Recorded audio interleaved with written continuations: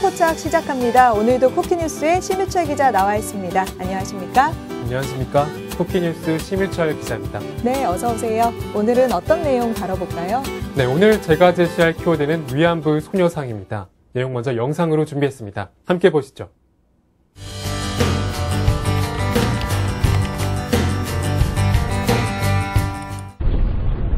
물어무이가 정신만 단디 차리면 집에 돌아올 수 있다 했다. 우리에게는 잊지 못할, 아니, 잊지 말아야 할 과거가 있습니다. 강제로 끌려간 소녀들의 눈물을 닦아주기 위해 세워진 동상.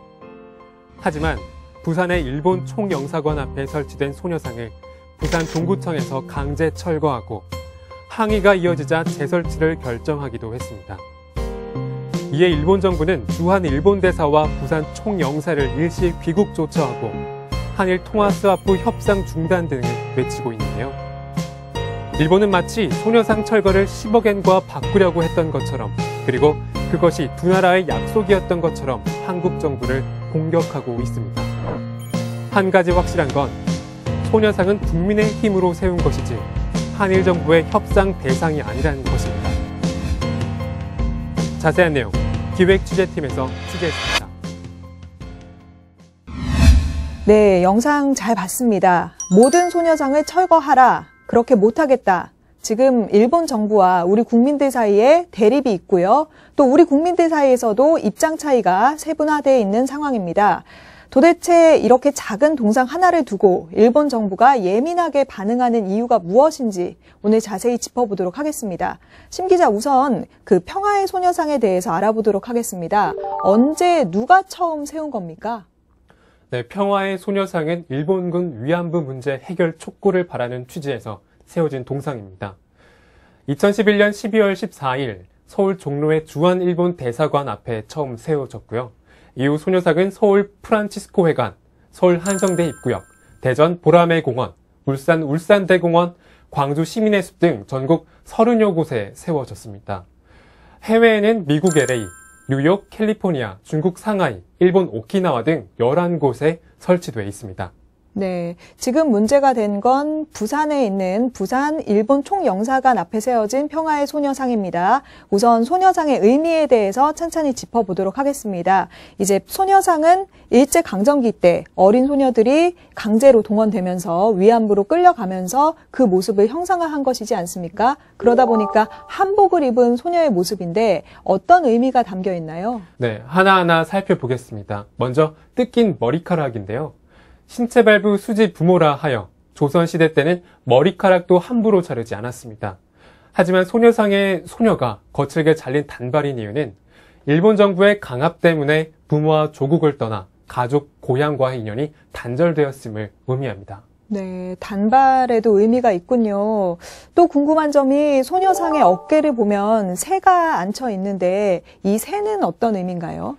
새는 자유와 평화를 상징하기도 하고요. 또 죽은 사람과 산 사람을 영적으로 이어주는 영매로서의 역할도 음. 하고 있습니다. 네. 즉 세상을 떠난 피해자 할머니들과 남아서 투쟁하고 있는 할머니들의 연결을 상징하는 것입니다. 네, 참 슬픈 의미를 담고 있네요. 또 소녀상을 보면 손을 꼭 쥐고 있습니다. 이 주먹진 손 어떤 의미입니까? 네, 불끈 쥔 두 주먹도 의미가 있습니다.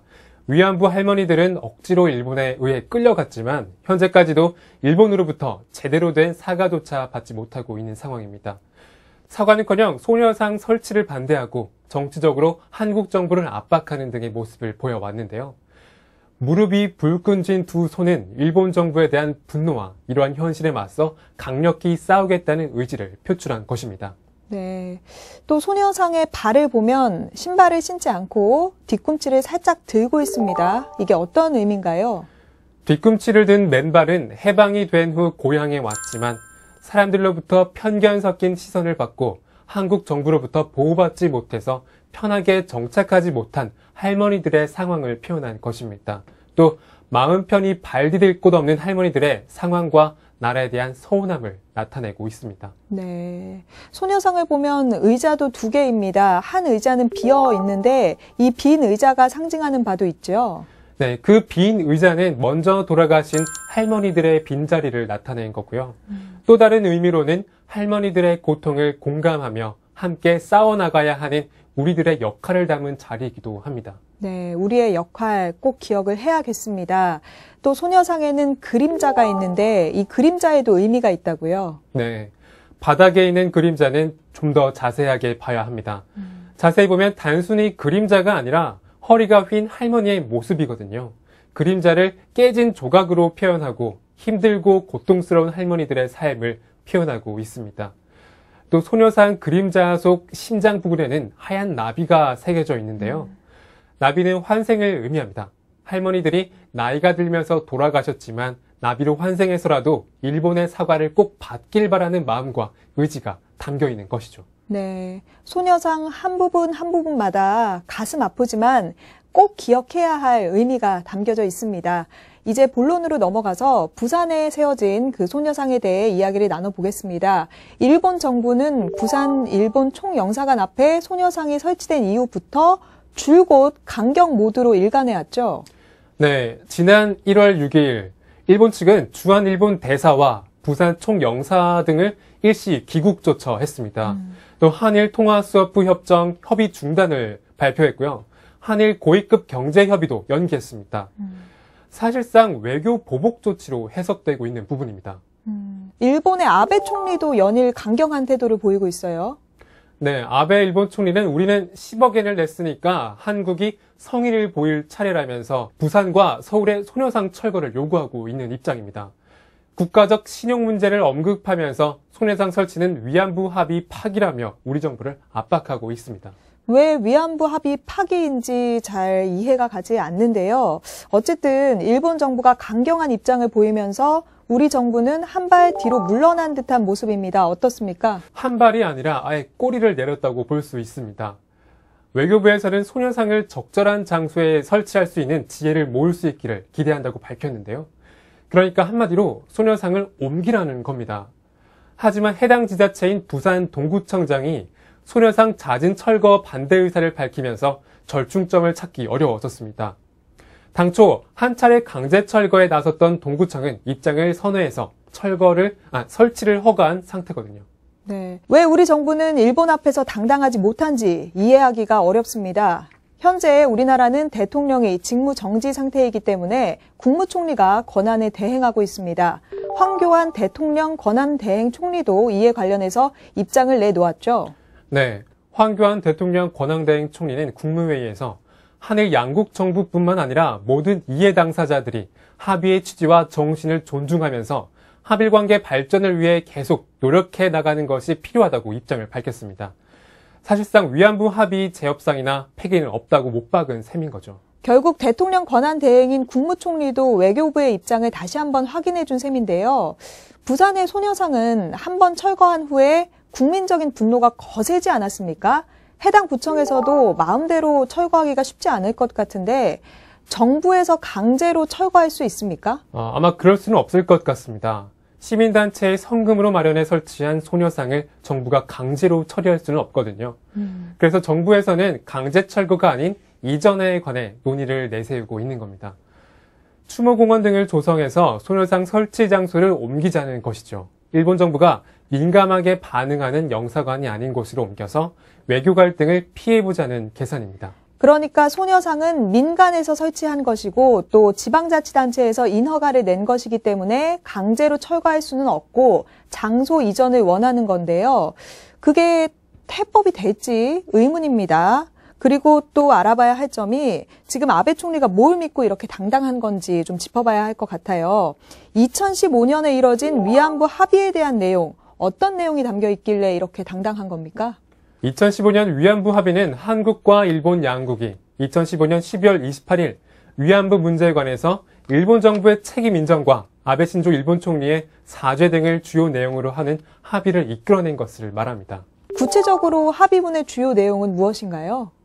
일단 위안부 문제에 대한 일본 정부의 책임과 아베 총리가 사죄와 반성의 뜻을 밝혔고요. 또 일본 정부 예산을 통한 피해자 지원 계획도 명문화됐습니다. 다만 사과는 총리가 직접 하되 공개적으로 하지 않고 대신 정부 차원의 공개적 사과 표명은 외무상이 하는 방식이었습니다. 합의문에서 소녀상과 관련된 내용이 언급된 곳이 있는데요. 제가 한번 읽어보겠습니다. 한국 정부는 일본 정부가 주한 일본 대사관 앞에 소녀상에 대해 공간의 안녕 위험의 유지라는 관점에서 우려하고 있는 점을 인지하고 한국 정부로서도 가능한 대응 방향에 대해 관련 단체와의 협의 등을 통해 적절히 해결되도록 노력한다는 내용입니다. 이 항목에는 분명 철거나 이전이라는 표현은 없는데요. 관련 단체와의 협의 등을 통해 적절히 해결되도록 노력한다. 이 애매한 문구를 놓고 한일 양측이 해석을 달리하면서 문제가 발생한 겁니다. 위안부 동원은 엄연한 범죄인데 일본이 범죄를 인정한 것도 아니고 사과도 애매모호한 표현에 그쳤습니다. 이런 상황에서 아베 총리는 위안부 합의가 성립됐으니까 소녀상을 철거해야 한다고 입장을 밝힌 건가요? 예, 그렇습니다.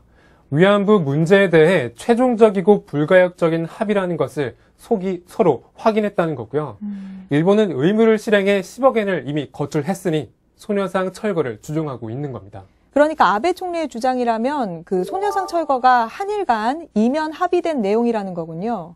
그렇습니다. 하지만 문제는 우리는 그에 대해 정확히 알 수가 없었다는 점입니다.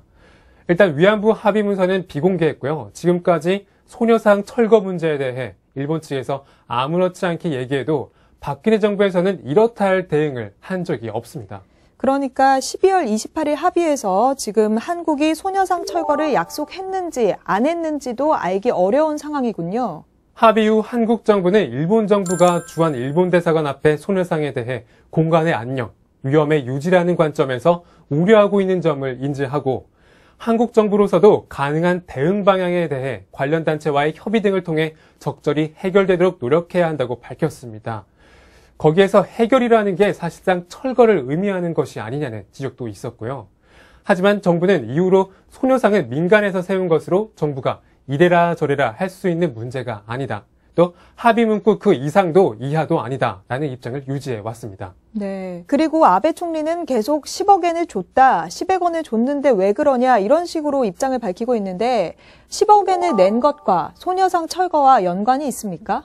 네, 일본의 10억엔은 한국 정부가 전 위안부 분들의 지원을 목적으로 하는 재단을 설립하고 이에 일본 정부 예산으로 그 자금을 일괄 내기로 한 겁니다. 그러니 그 10억엔 출연은 소녀상 철거가 아니라 위안부 피해자들의 마음의 상처를 치유하는 조치를 강구하기 위한 것이었습니다. 그럼 일본이 10억 엔을 낸 것으로 합의상 의무를 다했다고 볼 수 있을까요? 일본 주장처럼 10억 엔을 낸 것으로 합의를 충실히 이행했다고 볼 수는 없습니다. 음. 일단 피해자들에게 제대로 된 사과가 이루어지지 않았기 때문인데요. 일본 측의 사죄 메시지를 전달하는 방안에 대해 아베 총리는 털끝만큼도 생각하지 않고 있다고 말하기도 했습니다. 어떻게 보면 사실상 합의 부정이라고 볼 수 있겠죠. 음. 그런데 일본이 이 평화의 소녀상 철거에 왜 이렇게 예민하게 반응하고 또 집착하는 건가요? 일본 사회는 자신들의 전쟁 가해 역사를 잊고 싶어 합니다. 음. 하지만 소녀상은 일본인, 특히 일본인 남성들에게 자신의 아버지와 할아버지가 전쟁의 성폭력 가해자가 됐을지도 모른다는 사실을 생생하게 되살리는 상징이 되고 있습니다. 그래서 10억 엔을 들여서 소녀상을 철거하고 자신들의 과거사를 지우겠다는 거죠. 네. 하지만 현 정부는 위안부 문제에 대해서 적극적으로 입장을 표명하지도 않고 있고 소녀상 철거에 대해서도 별다른 대책이 없, 없는 그런 상황입니다. 앞으로는 어떻게 될까요? 일단 12월에 대선이 예정돼 있고 또 조기 대선이 치러질 가능성도 있는 만큼 입장이 나올 수도 있지 않을까요? 네. 위안부 합의 문제와 관련해서 아직 공식적인 입장을 내놓지 않은 반기문 전 유엔 사무총장을 제외하고는 음. 문재인, 이재명, 박원순, 안철수, 안희정, 유승민 등 주요 대선 주자 10위는 모두 재협상 혹은 폐기를 요청하고 있습니다. 네. 결국 박근혜 정권 이후에는 위안부 합의는 폐기나 재협상 쪽으로 갈 분위기가 높은 상황이라고 볼 수 있습니다. 네, 소녀상 설치는 우리 국민들이 위안부 문제를 잊지 않고 반드시 해결하겠다는 의지의 표현입니다. 아무도 모르게 이뤄진 2015년 위안부 합의가 하루빨리 폐기되고 반드시 피해자들이 사과를 받았으면 하는 마음인데요.